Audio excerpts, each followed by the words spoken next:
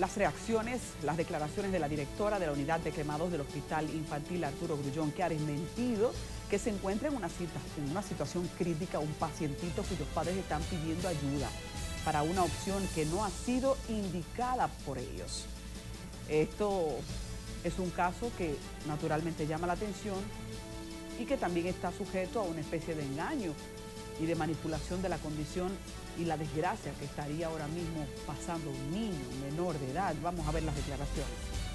Con el ambulatorio hemos tenido dificultad con los padres porque eh, a pesar de que hay una fundación y algunas personas que eh, se ofrecieron para transportarlo a la unidad cada vez que tuviera cita, no venía con la con la regularidad necesaria, las citas que se le ponen, incluso les retiraban los apósitos y eso que le poníamos en la casa, se lo, se los retiraban.